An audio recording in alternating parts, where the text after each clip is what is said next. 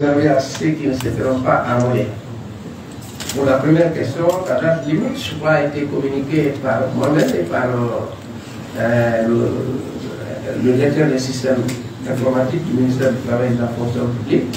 Nous avons dit 26, c'est ça 22 euh, octobre. Les dates limites, c'est par site. Un site ouvre une date, ferme une date. À l'intérieur aussi, vous allez avoir le planning, ça va être pareil.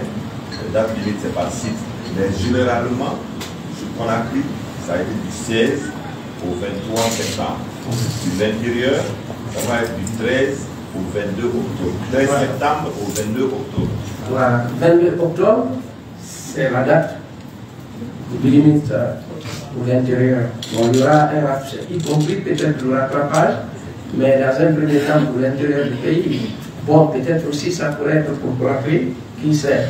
Parce que le rythme où va la- actuellement le- la- l'armement, il est fort possible qu'on puisse terminer avant que prévu sur Conakry et ensuite On on était dans le puisse adresser la question des retardataires, donc le rattrapage. Euh, quel va être le sort de tous ceux-là qui ne vont pas se faire enrôler? C'est clair, tous ceux qui ne vont pas se faire enrôler sans raison, c'est qu'ils ne sont plus fonctionnaires en Guinée, ils seront automatiquement radiés de la fonction publique. Je le dis et je le répète. Tous les agents qui ne se feront pas enrôler sans raison valable, sans motif valable, ne seront plus fonctionnaires au terme de toutes les opérations d'enrôlement et au dépôt du rapport final de la biométrie. Question sur le concours, oui, il y a une corrélation. Je crois que je l'ai dit, lui aussi l'a dit. Bon, je sais ce que les gens veulent qu'on leur dise, demain c'est le concours. Aujourd'hui c'est le 7, c'est le 8. Le 8. Le 8 euh, septembre. Les gens veulent que je dise demain 9 septembre 2023, à minuit, c'est le démarrage du concours de recrutement à la fonction publique. On ne le dira pas comme ça. Il y a beaucoup de préalables. L'un des gros préalables, c'est d'abord la réalisation en bonne et due forme de cette biométrie en cours. Une fois terminé, nous nous soumettrons le rapport avec des propositions. Normalement, l'une des propositions, euh, ce sera que on a fini la biométrie qui a révélé que nous avons désormais X places libres. Nous soumettons au gouvernement, ce n'est pas une décision qu'une seule personne peut prendre. Nous allons dire au gouvernement, au terme de la biométrie, il s'est avéré qu'il y a, euh, disons, 8 000, 10 000, 20 000, 100 000 places libres euh, qui doivent être pourvues pour une raison ou une autre, soit cause de décès, d'abandon, ou parce que c'était des places fictives qui étaient là. Alors nous proposons que nous ayons un remplacement numérique au cas par cas, numérique quantitatif et qualitatif aussi. C'est-à-dire que s'il y avait un planton quelque part, peut-être que maintenant ce n'est pas un planton dont on a besoin, il va falloir recruter un ingénieur informaticien. Et je l'ai dit, et si concours il y a, ce serait euh, des concours délocalisés, régionaux, en prenant en compte pour chaque région du pays les besoins spécifiques à, cette région. Donc, euh, je ne peux pas en dire plus. Est-ce qu'il y a le nombre euh, des fictifs, s'il y en a eu, et quel est le nombre euh, de postes d'abandon, s'il y en a eu, s'il a été constaté, constaté, j'allais dire. Euh, D'autres fenêtres que nous allons ouvrir, puisque ça nous a été permis de poser concours, euh, poser questions euh, par rapport au cadre concours, intégration à la fonction publique. Vous avez dit tout à l'heure que ce n'est pas facile de se prononcer sur euh, l'ouverture euh, concernant la date, de prononcer la date. Alors, alors que lors des négociations tripartites entre le mouvement syndical et le gouvernement, il a été annoncé spécifiquement dans le cadre des enseignants contractuels qu'à partir de décembre, il va y avoir concours, c'est-à-dire à partir euh, du mois de janvier 2024, tout sera effectif dans ce cadre. Où en est-on?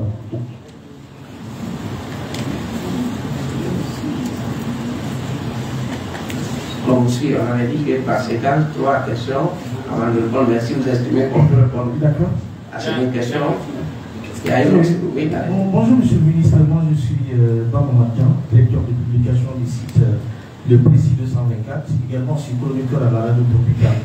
Et Monsieur le ministre, euh, la fonction publique c'est la vieille maison que nous connaissons, euh, une maison qui a entretenu euh, beaucoup, de, beaucoup de problèmes liés aux fausses matricules, des gens qui pouvaient même enrôler leurs propres enfants leurs cousins et leurs cousines. Alors aujourd'hui, vous avez décidé de nettoyer la maison pour ne pas qu'on essaye de. le contribuable ne repart dans la poche des individus. Alors, si vous finissez tout, est-ce que des, cadres du département ou d'autres personnes qui seraient, qui seraient impliquées dans, dans ces maris, est-ce qu'on peut s'attendre à les poursuites Parce qu'après le toilettage, je vous remercie. C'est bon, ça fait un an. Voilà, je commence par cette dernière question. Est-ce que les complices qui seraient détectés ou euh, identifiés après le processus de, nettoyage, en fait, qui est couronné par la biométrie actuelle en cours, euh, seraient euh, poursuivis? Encore une fois, le principe de fonctionnement d'un gouvernement, ce n'est pas des décisions individuelles. Moi, je suis ministre du Travail et de la fonction publique, nommé par le président de la République sur proposition du Premier ministre. Je travaille à l'intérieur d'un gouvernement. Chaque fois qu'un ministre travaille, il trouve des choses. Il ne peut pas prendre tout, seul la décision. Il doit exposer, présenter le problème identifié au sein du gouvernement, qui dans son ensemble va analyser le problème. Naturellement, on ne va jamais balancer seulement les problèmes sans suggestion de solution. Il va avoir des propositions selon sa conviction personnelle et son avis personnel, mais la décision finale va revenir au gouvernement et euh, au Conseil des ministres. Il y a même des décisions qui ne seront même pas euh, définitives euh, au niveau du gouvernement, mais au besoin requérir l'avis du CNT, par exemple. C'est comme ça que ça va fonctionner normalement dans la transparence. Mais l'un dans l'autre, puisque euh, le bon sens commande que qui enfreint la loi doit subir euh, les foudres de la loi.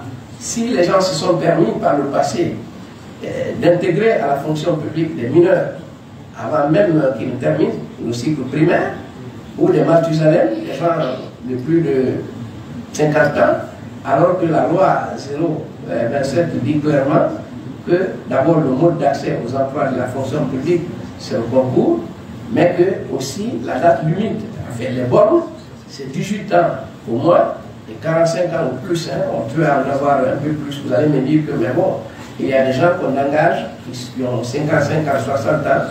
Oui, ça c'est des cas spécifiques des contractuels lorsque les gens sont nommés par décret présidentiel.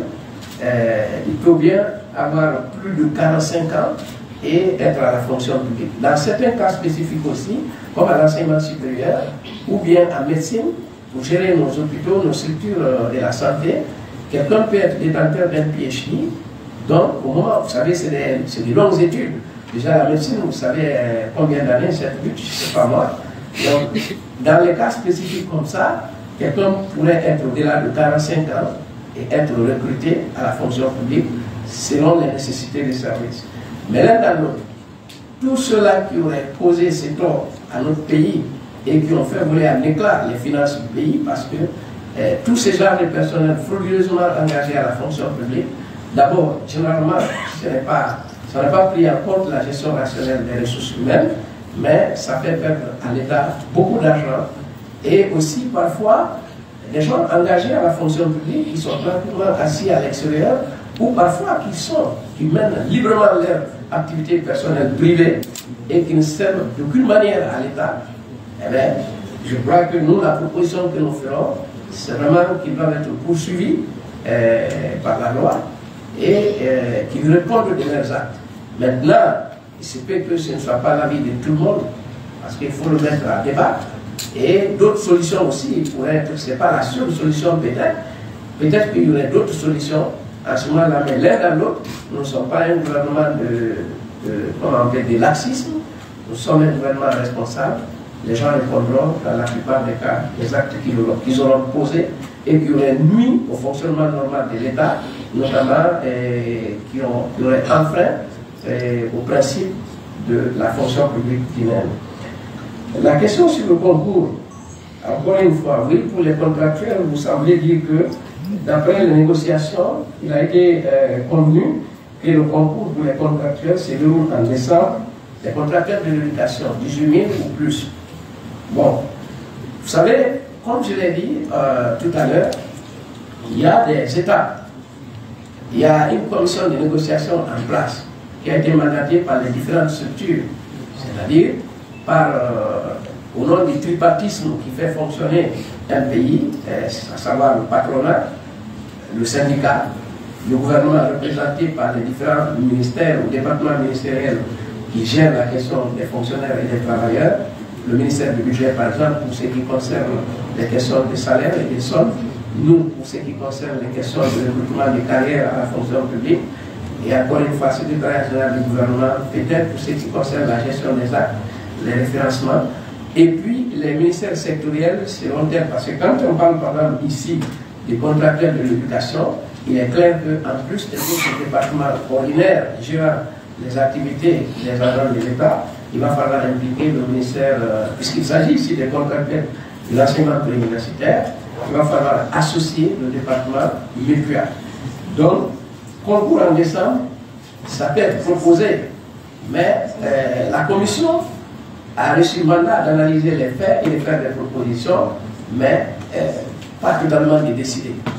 Alors, si c'était le cas qu'il a été prévu qu'en décembre, un concours serait organisé euh, pour les contracteurs de l'éducation, bon, nous sommes en train d'attendre le rapport final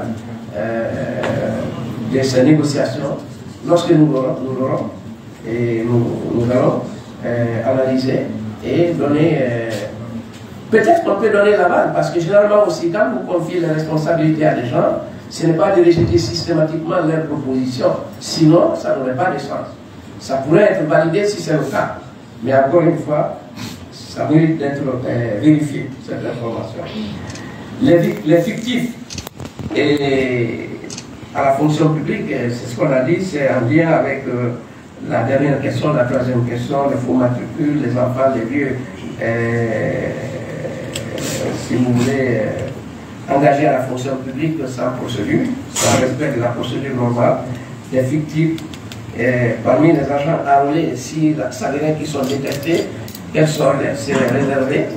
Bon, pour le moment, à ce stade, parce que si vous voulez dire que sur les 35 000 qui auraient déjà été euh, enrôlés à Conakry, qu'il y aurait des fictifs, pour le moment, c'est aller trop vite à besoin.